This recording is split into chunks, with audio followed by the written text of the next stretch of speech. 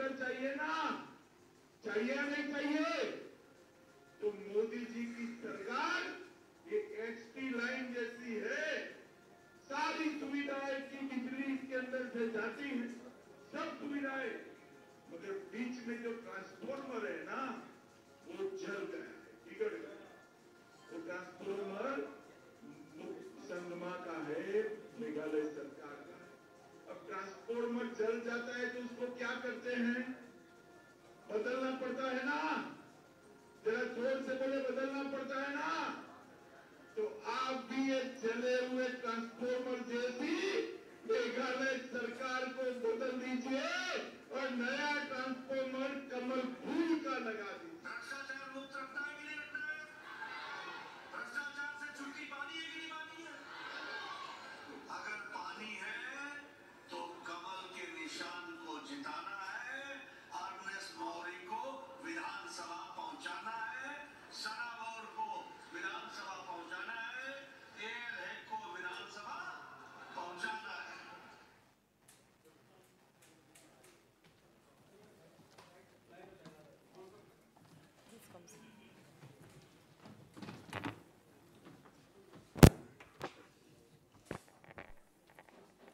आप सबको हमारा नमस्कार। और मेरे साथ आज मेरे वरिष्ठ कुलीग सहयोगी मेंबर ऑफ़ पार्लियामेंट और मेघालय पीसीसी के अध्यक्ष श्री विंसेंट पाला जी हैं। आपने वीडियो पर जो देखा, उसी के बारे में चर्चा करने को हम लोग आए हैं, क्योंकि कल शपथ ग्रहण समारोह है मेघालय की सरकार का। उनके बारे में हमने क्या कहा, वो तो जुदा बात है, लेकिन उनके बारे में बीजेपी के महानुभावों में क्या क्या है, वो आपके सामने और अब वो इस सरकार का हिस्सा बनेंगे। So I will hand over the floor to my senior colleague Shri Vincent Pala ji who heads the PCC in Meghalaya and was also a member of parliament to speak to you about the government formation that going to happen in Meghalaya tomorrow and the kind of things that the BJP set during the campaign on corruption and what exactly are they turning up to do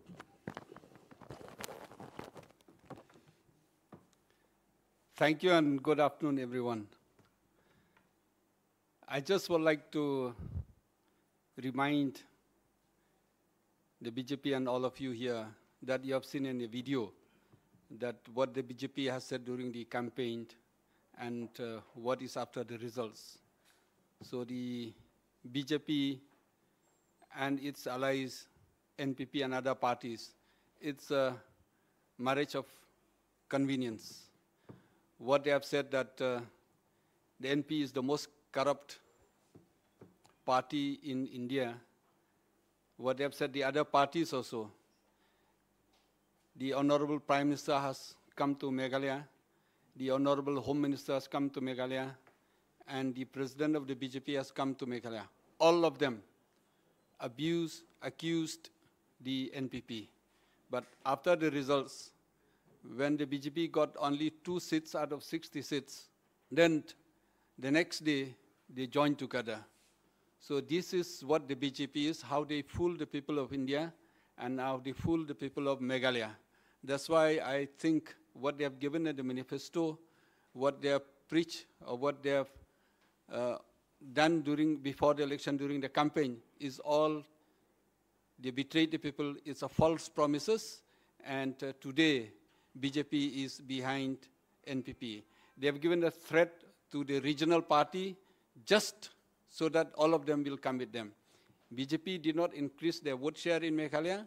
They had more than 9.5% throughout the elections, be it in the general elections in the Lok Sabha or be it in the uh, Legislative Assembly.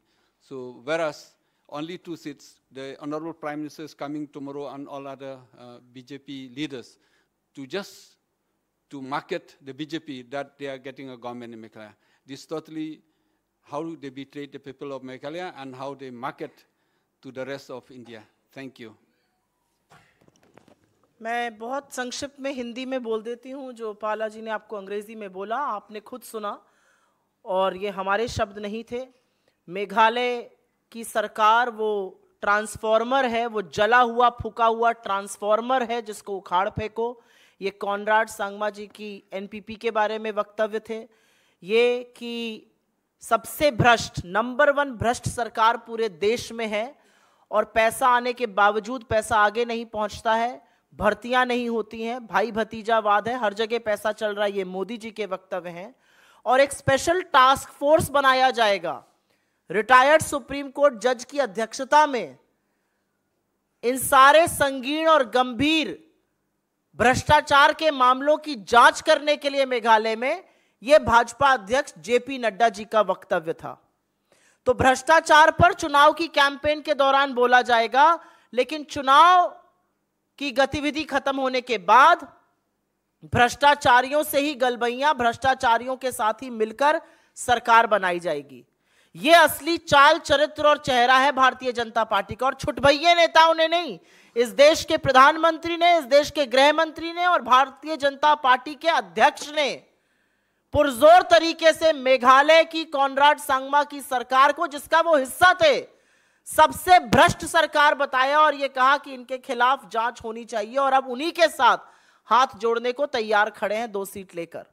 तो अगर ये पाखंड और ढोंग नहीं है तो और क्या? और ऐसा पाखंड और ढोंग भ्रष्टाचार पे हमने लगातार कर्नाटक में देखा है, हमने लगातार मध्य प्रदेश में देखा है, हमने लगातार गोवा में देखा है, लगातार उत्तर प्रदेश में देखा है, लेकिन अब समय आ गया है कि इस पर चर्चा हो, इस पर बात उठे कि कैसे भ्रष्टाचार पे बड़ी बड़ी डींगे हाकी जाती हैं जब चुनाव प्रचार किया जाता है और उन्हीं भ्रष्टाचारियों के साथ एक साथ मिलकर लामबस खड़े होने को तैयार रहती है भारतीय जनता पार्टी। अभी कर्नाटक का जो भ्रष्टाचार का संगीण आरोप है, वो कहीं गए नहीं है ठंडे बस्ते में। माडाल जी अभी भी 77 घंटे बाद फरार हैं। ये एमएलए हैं भाजपा के। अभी भी फरार चल रहे हैं, उनके लड़के ने 40 लाख घूस लेते हुए पकड़े गए थे। उनको रिजाइन करना पड़ा Karnataka soaps and detergent limited से। लेकिन वो अभी भी फरार हैं। कोर्ट भले पहुँच गए हो, राहत के लिए। और उस उस समय हमें यह सुनाई दे रहा और दिखाई दे रहा है कि कल सरकार का गठन होगा और भारतीय जनता पार्टी उस सरकार का हिस्सा बनेगी। मैं आप लोगों से दरख्वास्त करूँगी कि पहले अगर आप सुओ मोटो पे पूछ लें तो बड़ी कृपा होगी आपकी।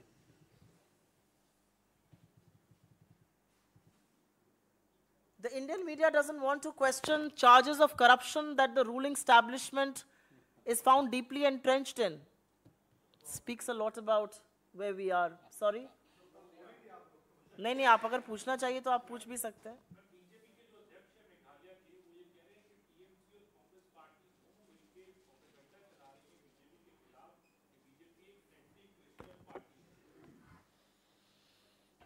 जो बीजेपी के मेघालय के अध्यक्ष हैं, उनका बयान मैंने बीफ पर सुना था। और मुझे अच्छा लगा था कि ऐसा बयान इतनी स्वतंत्रता से कोई भारतीय जनता पार्टी में दे सकता है। दो शब्द की चुनौती देती हूँ, भारतीय जनता पार्टी का कोई नेता ऐसा बयान देश के किसी और हिस्से में जाकर बोल दे जहाँ पर संशय पर हत्या कर दी जाती है। तो बीजेपी के अध्यक्ष मेघालय के जितना चुप रहे उनके लिए कारगर रहेगा। बीजेपी के मेघालय के अध्यक्ष सिर्फ़ ये बता दें कि उनके राष्ट्रीय अध्यक्ष आके कहते हैं special task force no less than supreme court of India के रिटायर्ड जज के अधीन गठित होगा और वहाँ पर आप उस सरकार का हिस्सा बनने जा रहे हैं। और जहाँ तक आपने प्रोसिक्यूशन की बात करी, एक पर्टिकुलर कम्युनिटी की तो अगर वैलेंटाइंस डे पे युगल जोड़ियों को पीटा जाता है, कालिक पोती जाती है उनके चेहरे पर, या 25 दिसंबर को जब यीशु मसीह का जन्मदिन मनाया जाता है दुनिया भर में, आप उनकी मूर्तियाँ तोड़ते हैं उत्तर प्रदेश और मध्य प्रदेश में। जब आप क्रिसमस मनाने जाने वाले लोगों का और एक सैंटा क्लॉज बने आदमी को पाँच पाँच लोग मिलकर पीटते हैं, वो कौन सा लोकतंत्र है? और वो कितनी हिफाजत कर रहे हैं किसी क्रिश्चियन की? ये भी बताने का कष्ट करेंगे वो? Do want talk about it in English the BJ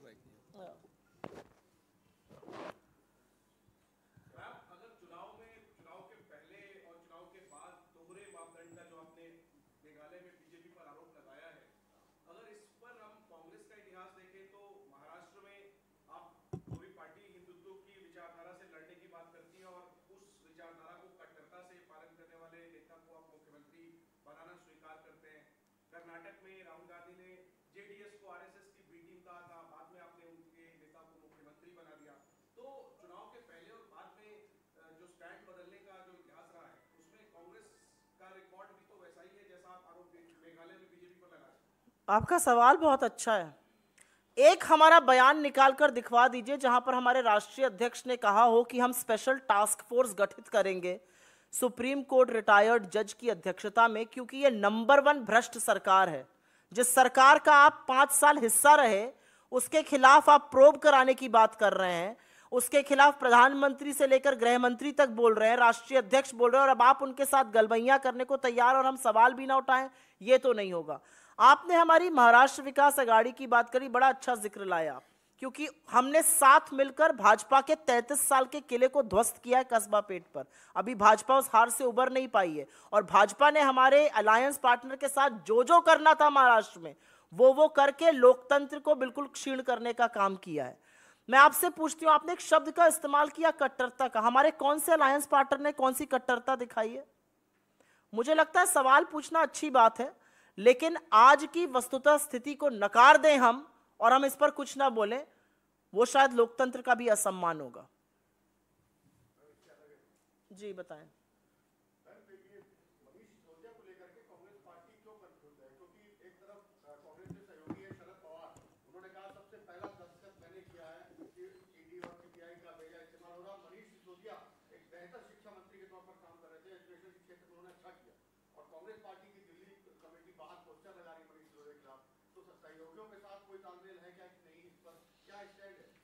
ऐसा है कि हम बिल्कुल भी कंफ्यूज नहीं है। हमारी पार्टी का स्टैंड बिल्कुल क्लियर है। अगर आज राबड़ी देवी के यहाँ सीबीआई रेड कर रही है, हम उसकी भर्सना करते हैं और इसलिए करते हैं क्योंकि यह कोई संयोग नहीं है कि चार गुना ईडी के केसेस बढ़ गए 2014 के बाद और पंचानबे प्रतिशत केसेस आपके सारे के सारे विपक्ष के खिलाफ है। आपकी ईडी आपकी सीबीआई आपका income tax department department of revenue intelligence जो ऑलरेडी प्रोब कर रहा है, वो अडानी के घर नहीं पहुँचता है। अडानी को एक नोटिस नहीं जाता है। वहाँ उनके पोर्ट पर भैया, मुद्रा पोर्ट पर लाखों करोड़ों रुपए की ड्रग्स पकड़ दी जाती। एक एनसीबी की रेड नहीं होती है, कोई चर्चा नहीं होती है। तो हमारा जो स्टैंड एजेंसीज के दुरुपयोग पर है, वो बिना संशय के बिना लब्बो लबाब के एक ही बात है कि एजेंसीज का दुरुपयोग ऑपोजिशन के खिलाफ किया जाता है। लेकिन जिस वाक्य का आप ज़िक्र कर रहे हैं, एक यह भी सच है कि दिल्ली की शराब नीति उस वक्त बनाई जा रही थी जब दिल्ली बेदम होकर बिना ऑक्सीजन के तड़प रहा था। और अगर यह नीति विड्रॉ ना करी गई होती तो हर घर के नीचे शराब का ठेका खुलने का बंदोबस्त हो गया था, महिला सुरक्षा या अराजकता को ताक पर रखकर। तो यह सवाल कैसे नहीं उठेगा? और यह सवाल इसलिए भी उठेगा कि जब विपक्ष, बाकी विपक्ष के खिलाफ एक्शन करती हैं ये एजेंसीज चाहे वो हमारे नेता हो या चाहे वो बिहार में हो या चाहे वो महाराष्ट्र के नेता हो, आम आदमी पार्टी एक शब्द नहीं बोलती। क्यों नहीं बोलते वो?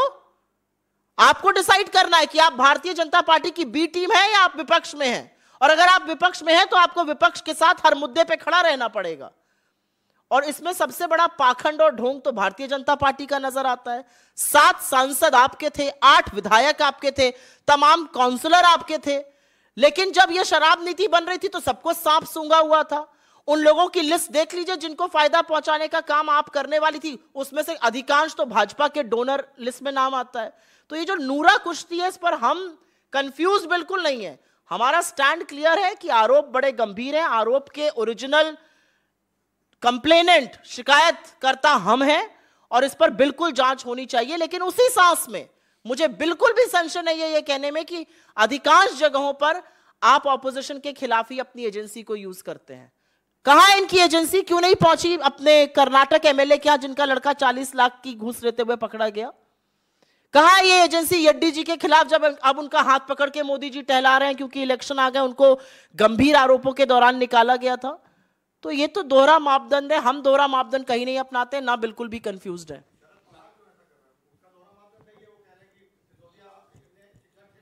मुझे लगता है कोई विपक्ष का दूसरा नेता कौन क्या कह रहा है, उनका हम थोड़ी मुँह पकड़ के बैठ सकते हैं। ये सवाल ही अपने आप में बेमाना है। हम दूसरा विपक्ष का कोई नेता क्या कह रहे हैं, हम उस पर नहीं पकड़ सकते। जैसे कि जब हमारे नेताओं के खिलाफ ईडी हर तरह की षड्यंत्र कर रही थी तो समूचा विपक्ष हमारे साथ खड़ा था। लेकिन तब क्या किसी ने पूछा था कि समूचा विपक्ष खड़ा आम आदमी पार्टी क्यों नहीं खड़ी है? राष्ट्रपति को चिट्ठी लिखी समूचे विपक्ष ने क्यों नहीं आम आदमी पार्टी ने उस पर साइन किया था?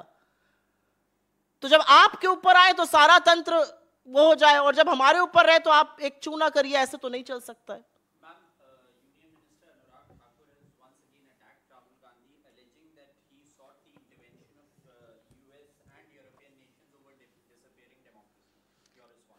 Two days back I think less than 48 hours back, I had played some videos here. And those videos had Mr. Modi stating the most obnoxious things on foreign soil. From Seoul to Shanghai to, to Moscow to Toronto to the US to Abu Dhabi to Oman, wherever he has traveled, he has always spoken against India's political leaders. He has said things like, लोग समझते थे क्या पाप किया है कि हिंदुस्तान में पैदा हुए in Shanghai on Chinese soil he has said things like nothing happened in 70 years. He has demeaned India's freedom struggle. He has demeaned the institutions that we have built. He has demeaned an average Indian who works very hard and contributes to nation building. Is that not defaming India? And who are you talking about? That Golimaru Anurag Thakur, who actually got promoted because he was speaking venomous hate speeches. If he had not spoken that, he would have never graduated from being a minister of state to a cabinet rank. And I want to ask him when Rahul Gandhi talks about a world which is divided between America and China on two sides, and India can be that huge power with its democratic values and the values of Mahatma Gandhi, is he defaming India or is he actually lauding India's values? When Rahul Gandhi says on foreign soil, on British soil, that Indian democracy is a public good, I think we should be very proud about it. And instead, the BJP is finding facts to criticize it. What exactly is their position? And what do they have to say about the various statements that Mr. Modi has made? And may I please indulge me for 10 seconds, also ask you a question. The BJP has issues with what Rahul ji has said. Let us debate every issue in India's parliament. I challenge you. Are you willing to debate every issue in India's parliament? Are you willing to come forward and say that when Mr. Gandhi speaks about Adani, we will answer on Adani. When he speaks about high prices, we will not say hum lesan pyaz nahi khate. When he speaks about unemployment, we will not say pakoda tallo. When he speaks on China, we will not say koi ghusa hua nahi hai. Are you willing to debate? You cannot.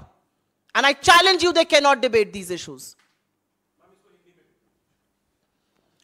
मुझसे सवाल पूछा गया अनुराग गोलीमारो ठाकुर ने कुछ वक्तव्य दिया है राहुल जी पर अनुराग ठाकुर की जो पदोन्नति है वो उनके नफरती बयान के बाद हुई। अगर उन्होंने मंच से ये घृणित नफरती बयान करके दिल्ली के दंगे ना भड़काए होते तो शायद उनकी पदोन्नति भी ना होती। वो मंत्री राज्य स्तर के ही बने रहते। कैबिनेट मंत्री बनने के लिए उनको नफरत का सहारा लेना पड़ा तो वो तो सबसे पहले पाठ ना पढ़ाए। वो मुझे बताएँ, किसने कॉन्ट्रैक्ट उनको दिया इस देश में हिंसा भड़काने का? पहला सवाल। दूसरा सवाल, प्रधानमंत्री मोदी ने चाहे वो चीन हो, चाहे वो दक्षिण कोरिया हो, या जहाँ पर भी वो जाते हैं चाहे वो मॉस्को हो, चाहे वो ब्रिटेन हो, चाहे वो ओमान हो, अबू धाबी हो, टोरंटो हो जहाँ पर भी वो जाते हैं, वो देश के ऑपोजिशन के खिलाफ ही आग उगलते हैं। जब वो कहते हैं विदेशी धरती पर कि सत्तर साल में कुछ नहीं हुआ तो वो देश के स्वतंत्रता संग्राम सेनानियों का, क्रांतिकारियों का और हर भारतीय का अपमान करते हैं, जो दो जून की रोटी कमाकर राष्ट्र निर्माण में सहयोग करता है। और इसीलिए मैं पूछती हूँ, जब वो कहते हैं कि हिंदुस्तान के लोग 2014 से पहले कहते थे, क्या पाप किया कि हिंदुस्तान में पैदा हो गए? वो सम्मान बढ़ा रहे हैं देश का, या देश का सिर झुकाने का काम करते हैं?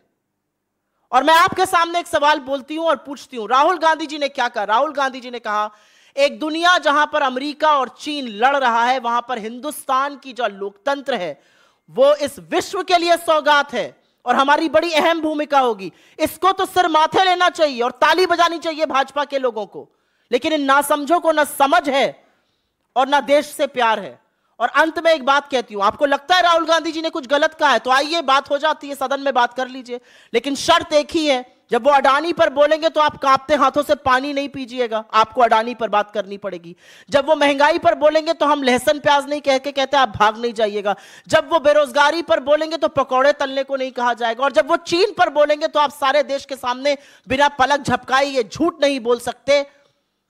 कि कोई घुसा हुआ नहीं है। अगर आप में हिम्मत है तो आइए हर मुद्दे पर चर्चा कर लेते हैं पार्लियामेंट में। आप में हिम्मत नहीं है, आप में सिर्फ़ दुष्प्रचार करना है और आपको अधिकांश चरण चुंबक जो बन चुका है मीडिया, उसका सहारा है। अगर वो सहारा ना हो, दो दिन आप टिक कर खड़े नहीं रह सकते।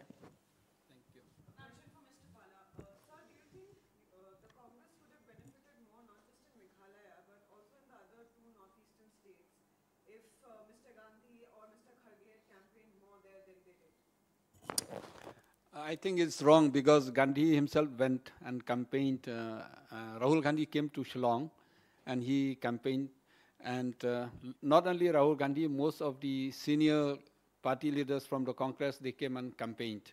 So I think uh, that's not the case. Uh, it may be, it may be, but uh, we also we have campaigned extensively in Meghalaya, right from right from the uh, members from the state as well as member from the central. They've campaigned extensively. Salman Khurshid came, and also Jairam Ramesh, uh, Ramesh ji came. So many of them came to Meghalaya. Even Sachin Pilot and all came. So there's no short of the uh, senior party leaders from uh, Delhi who came to Meghalaya. Thank you. Thank you. Uh, Ma'am, uh, yesterday Rahul Gandhi has also mentioned uh, that S. Jaishankar doesn't understand the uh, threat from China, and he had also given an example of Savarkar's book uh, during his speech. What is your response to that? Ma'am, would you If S. Jaishankar stood the threat about China, he would not tell Chinese that we are a smaller economy and you are a larger economy, and how do we go and attack them? Is that not what he said in his interview? Mr. S. Jaishankar should actually resign from his position. If he had, if he had inch and an iota of morality in him, he should resign. And if there was an inch and an iota of morality or moral compass alive in the Modi government, he should be sacked for making a blasphemous statement like that. Because in one single stroke, he has actually demeaned our forces. He has put everyone to shame. Thank you. Thank you.